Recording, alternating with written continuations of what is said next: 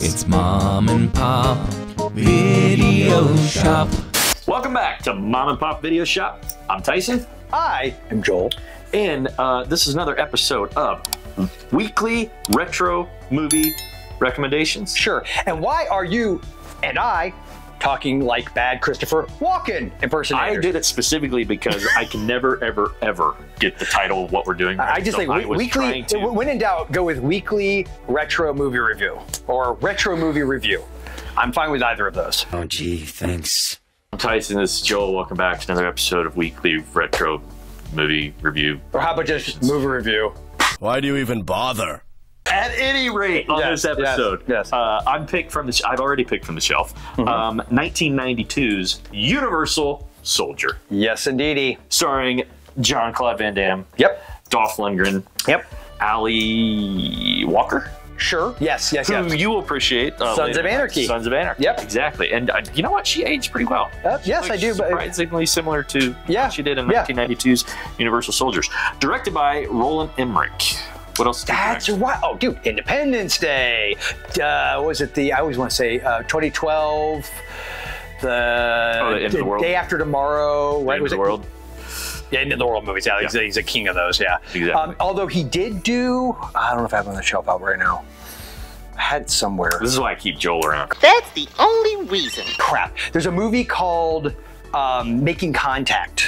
From 1986-ish, 87, My 88, favorite it's somewhere in that ballpark. Uh-huh. I feel like it's. Do I have? I know I have it somewhere. Crap, I don't remember what's that. Anyway, Making Contact. You've ever seen it? There's a creepy ass ventriloquist doll in it, and I believe Roland Emmerich made that movie. Right on. Uh, in the in the mid 80s. So anyway, I At any rate, 1992's Universal Soldier, uh, dude, is like a freaking wet dream for action. Oh my God. Early 90s action. Yes, if So you are in the mood for like testosterone fueled machismo, this is it. you cannot go wrong. So I will read from the back of the VHS box, and then I'm sure Joel and I will wax nostalgic about Sure. this particular movie. So, Universal Soldier. Two of the biggest action stars are together for the first time, and it won't be the last time, but they're together for the first time in one explosive adventure. Jean Claude Van Damme is Luc Deveraux, and Dolph Lundgren is Sergeant Andrew Scott. He says it. Two soldiers who kill each other in Vietnam and are then brought back to life 25 years later for a secret government program. Known as Unisols, they're genetically enhanced, unstoppable killing machines with no memory, no feelings, and no free will. But on an anti terrorist mission, Deveraux's memory starts to return and he escapes from the program. A superhuman chase across the country begins with Sergeant Scott in unrelenting pursuit of the man who killed him. Devereaux heads for his home and a reunion with his unbelieving parents.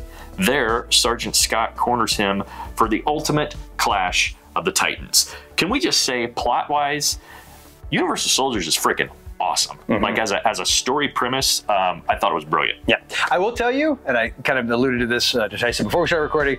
I have not seen this movie in decades, and sometimes we try to like surprise each other and not tell each other what we're going to do. Although I had him tell me in advance, but when I say in advance, I mean like yesterday.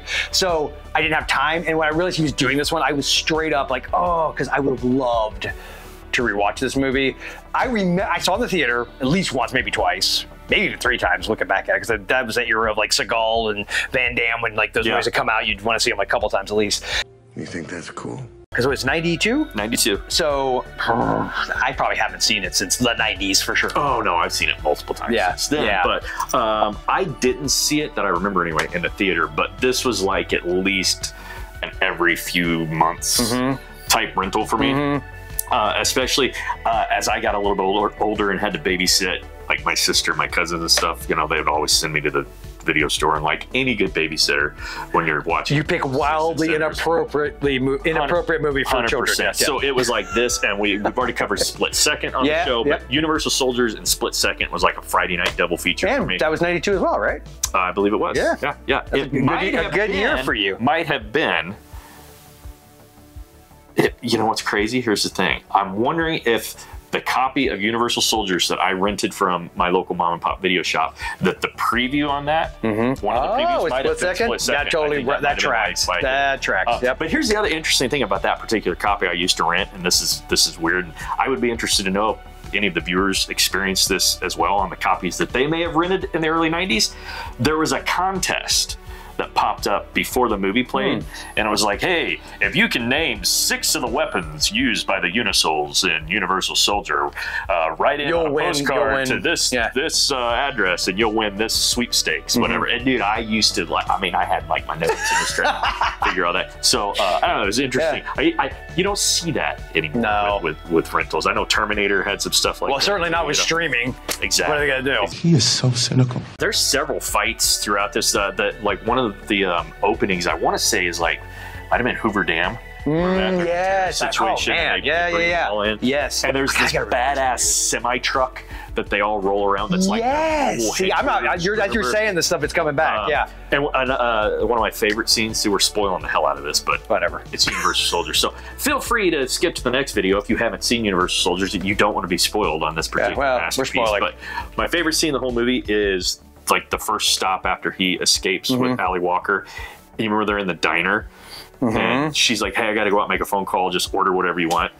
And he's kind of looking around because he, you know, he doesn't know how society works, so he basically orders like 50 blue plate specials and just keeps eating, kept, keeps eating. And the waitress gets pissed and asks him how he's going to pay, and he doesn't know how. I'm not a smart man. It's a big bar fight then that ensues because I don't really remember that scene, but what's hilarious as you laid that out is the realization, like, as if he, he di- died in the 60s, he's at a diner in the 90s, as if it's such a different world. It's not like they handed him a smartphone and But said, think- order off Amazon, dude. What sort of dark magic is this? I think all these guys have such memory wipes. I think it was just. Oh, is that what it was? Oh, I got you. Yeah, Okay, like I, I don't remember that, so you say Yeah, so. like he doesn't. doesn't so I was like, diner? What should I do at diner? He's got his. Uh, before we say what our tape, re- uh, I did notice oh, this is the other. making contact. If you oh, Clumsy, clumsy hippos. saved it. This is the other Roland Emmerich. This is the other Roland Emmerich movie. I'm, I'm trying to get it up there. You guys can see it. Very and, cool. And uh, if you remember that ventriloquist, I always had a thing about ventriloquist dummies that freaked me out. I don't know that I've ever seen this. Yeah, either. directed by Roland Emmerich. Anyway, making contact. Roland Emmerich. Yep. Here's the last thing I'll say about Universal Soldier. Folks, if you've not seen this, uh, I can unequivocally say, other than like maybe Bloodsport, this is probably my favorite Van Damme movie. Hmm. Okay. Um, I mean, we all know what a villain Dolph Lundgren was in Rocky 4, Mm-hmm. but doesn't have a lot of speaking lines. Has far Yeah. more dialogue Yes. Universal Soldiers. Yeah. And I remember him you, being really good. As batshit psychopaths go, Dolph Lundgren is Great. incredible. Yes, in totally great. So Yeah. can't recommend this enough. You know what? Screw it. I'm gonna say five tapes for me on Universal. I'm gonna say four, but only because I haven't watched it in 30 years. I will tell you, my gut tells me I'm gonna rewatch this movie. It's gonna be a five taper, but I'm gonna say four because again, I'm right. going purely from memory. I love the tagline: "The future has a bad attitude." it certainly does. Yeah. And in the meantime, remember at Mom and Pop's our love of Red Scorpion, also starring Dolph Lundgren. and also never stops. Mom and Pop's Video Shop.